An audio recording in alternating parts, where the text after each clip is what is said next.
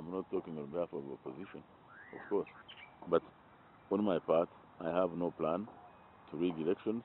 I would have no desire to do so, nor do I uh, find reason to do it because uh, we have support. People just want change. What President Museveni hopes to gain is from uh, high levels of no turn up, absenteeism. So I'm encouraging people to actually come out and vote. Because the reports we have are that actually there is a planned um, staffing exercise. Uh, very many votes um, are being brought in, and the idea is to distribute them to all the polling stations so that the staffing is not massive at any single polling station.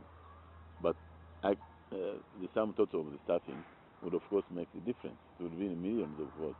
The oil deal agreements were not discussed until there was pressure in Parliament by the Sech Kubos, Tinkasiimires, and that group.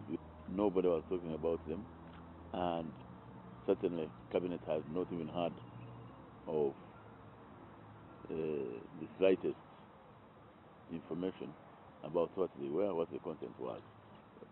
We only knew that something was going on, and the president himself said he was handling this personally. That's what he was. He told us.